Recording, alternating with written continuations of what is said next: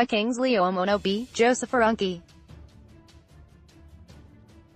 PDP warns, adds Buhari lacks powers to deploy soldiers for election leave politics, tackle insurgency, Atiku replies COAS FEC backs Buhari's order on ballot box snatchers Abuja, Chief of Army Staff, Lieutenant. General Buratai, yesterday, asked the presidential candidate of the People's Democratic Party, PDP, and former Vice President, Alhaji Atiku Abubakar, to withdraw his statement asking the army to disobey the president's directive to be ruthless on ballot box snatchers. Chief of Army Staff, Lieutenant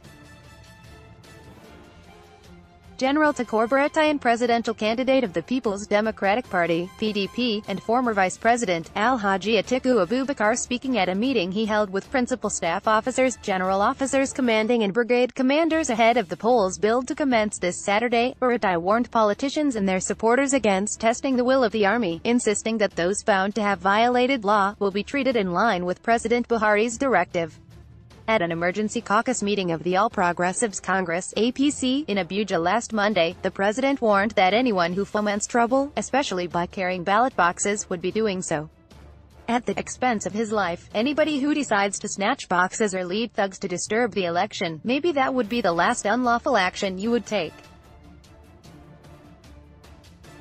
I have given the military and police the order to be ruthless. I am going to warn anybody who thinks he would lead a body of thugs in his locality to snatch boxes or to disturb the voting system. He would do it at the expense of his, her own life, the president said. Reacting to the president's orders, PDP presidential candidate, Alhaji Atiku Abubakar, speaking at the 84th emergency meeting of the PDP National Executive Council, said Buhari was not involved in the struggle for democracy in Nigeria. I want to direct this message to our military commanders and officers. You know that the military commanders and officers are not bound to execute orders that are manifestly unlawful, Atiku said. This is law, this is the tradition in the military, so if you're a professional military officer and soldier and also a policeman, you are not bound to execute an order that is manifestly unlawful, no matter who issues that order. Atiku's statement unfortunate, COAS Buratai, who said that Atiku's statement was unfortunate given that he was in the highest level of government in the country before and knew fully that the Nigerian army in particular and the military in general are meant to obey the orders of the commander-in-chief of the Nigerian armed forces to the letter, said they will treat Buhari's latest order with exception. Al-Haji Abubakar however, fired back at the army chief, urging him to channel his energy to tackling insurgency in some parts of the country rather than dabbling into partisan realm.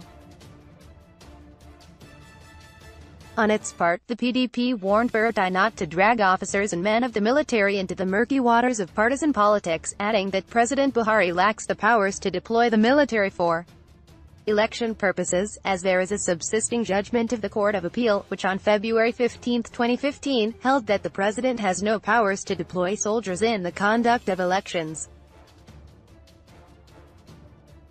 FEC backs Buhari's directives This came as the Federal Executive Council, FEC, yesterday, backed President Buhari's directives to security agencies to be ruthless with ballot box snatchers in the coming polls. Briefing State House correspondents after the weekly FEC presided over by the President at the Council Chamber, Presidential Villa, Abuja, Minister of Information and Culture, Al-Haji Lai Mohammed said, absolutely.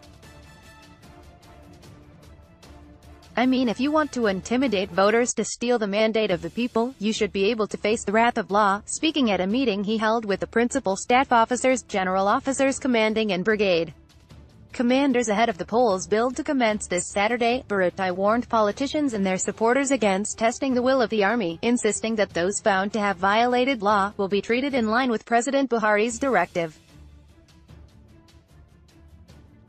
Although, he did not categorically mention the former vice president's name, his description of the subject of his address pointed to the PDP presidential candidate. His words, It is unfortunate to hear persons who are aspiring to rule this country again inciting the army to disobedience. We have consistently stated our position in the political dispensation to remain neutral and apolitical. PANDEF lampoons Buhari over order on ballot box snatchers, however, direct and public incitement of the Nigerian military against democracy and constituted civil authority will not be tolerated. I request such persons to withdraw this inciting statement.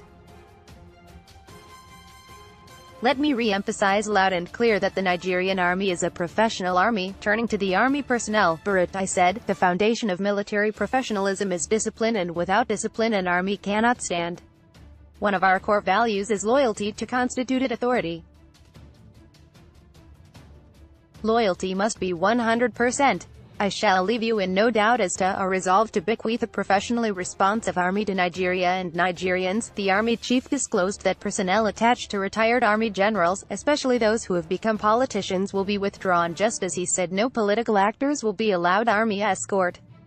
Should any officer or soldier have doubts as to his loyalty to the Nigerian state as presently constituted, such a person has up to February 22, 2019 to resign. There is no room for indiscipline or disobedience to lawful orders in the Nigerian army today. I want to remind all here present that the act of electoral thuggery, snatching of ballot boxes, illegal possession of election materials and similar crimes are intended to mar an election and create deliberate avenues for post-election violence and mayhem. Such actions can also become more damaging when they are widespread, leading to destruction of lives and properties. Incidences of this nature in previous elections are often planned and orchestrated by politicians and the Nigerian army has hitherto been very cautious in its approach. However, this time around the Nigerian army will adopt a proactive posture that ensures that similar incidences do not even arise. Accordingly, in addition to my earlier directives to you in the last operations conference, I wish to lay emphasis on the following actions that all commanders are to abide by.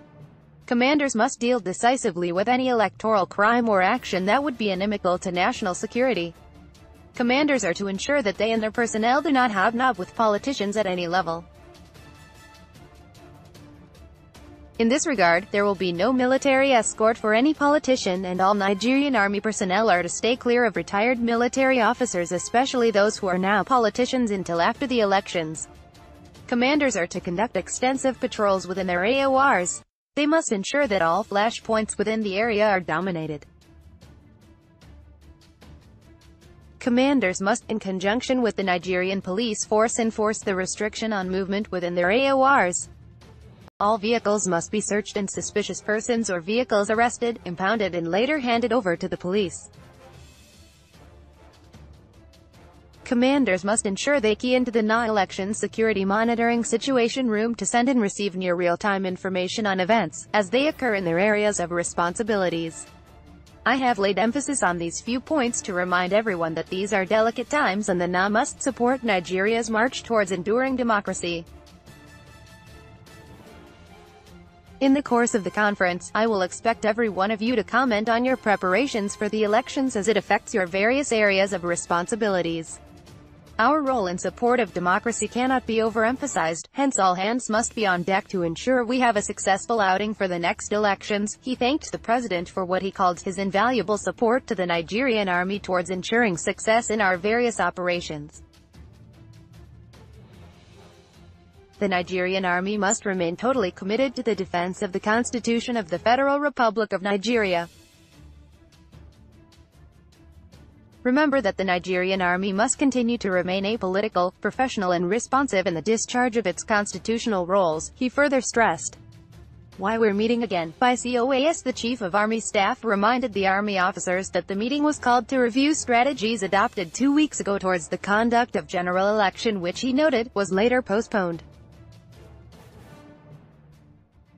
You will all recall that just two weeks ago, we all met here for an operations conference that was held to strategize on the Nigerian Army's roles during the 2019 general elections, which was earlier planned to commence from February 16. Unfortunately, the election did not hold as planned and has been postponed to hold on February 23 and March 9. This shift in date has necessitated need to review some of the decisions taken at the last conference and also to reiterate some of the directives passed to you in light of the postponement of the elections. I wish to first remind all of you that the unity of Nigeria is not negotiable. Hence those who seek to undermine our democracy by interfering in our electoral process must be seen as enemies of Nigeria and dealt with appropriately.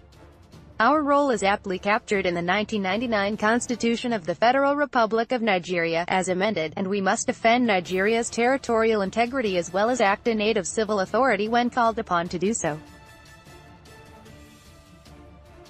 Therefore, commanders must work with all stakeholders, interest groups and agencies to avert any act by any individual, groups or entities that seek to undermine our democratic process.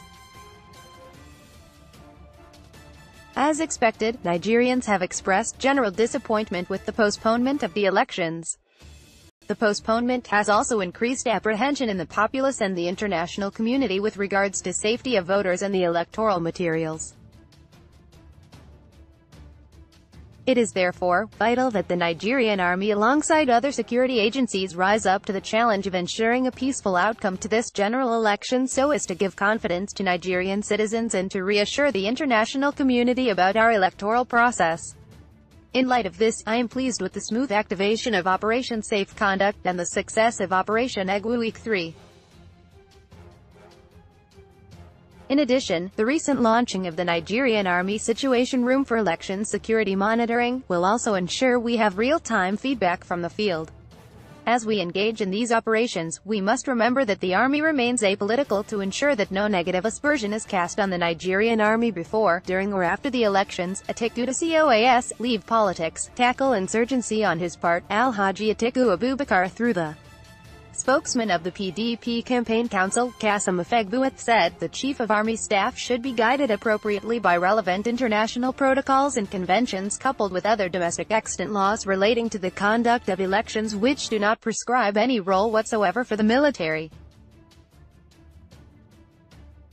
The military should devote its time and energy on the battle against insurgency across the country instead of blowing hot air where there is none just to create panic in the minds of Nigerians. It will be good to notify the COAS that Nigerians will remain resolute before, during and after the elections in defense of their constitutional rights to vote and be voted for without let or hindrance. We have since alerted our supporters to be law-abiding and conduct themselves within the labyrinth of the law during the election and voting process. This country is so dear to us, hence we will caution against any attempt to plunge it into avoidable crisis. Don't politicize our military, PDP warns Buratai the PDP in a statement signed by its spokesman, Kola Ologbondiyan yesterday, enjoined General Buratai to be guided by the provisions of the laws in his utterances especially as they relate to democracy. He said, General Buratai is counseled to note that the loyalty of the military is to the state and that the president lacks the powers, under our laws, to deploy soldiers for the conduct of election. The PDP states that Atiku Abubakar spoke on the side of the law and wishes of Nigerians and cannot be intimidated by anybody no matter how highly placed. Our party urges General Buratai to concentrate on his very demanding assignment of protecting the territorial integrity of our nation and ending insurgency rather than dabbling into partisan politics at the risk of our national cohesion. It is imperative to state that by trying to drag the military to participate in the February 23 presidential election, President Buhari plots to suspend our constitution, assume the position of an emperor, trigger unrest, subvert our electoral process and derail our democracy. Buhari lacks powers to deploy soldiers for election. PDP, the party directs President Buhari to the judgment of the Federal High Court, Lagos on March 23, 2015, wherein the court, presided over by Justice Ibrahim Buba, directly outlawed the deployment of troops in the conduct of elections in our country. President Buhari should also avail himself of the subsisting judgment of the Court of Appeal, which on February 15, 2015, held that the president has no powers to deploy soldiers in the conduct of elections.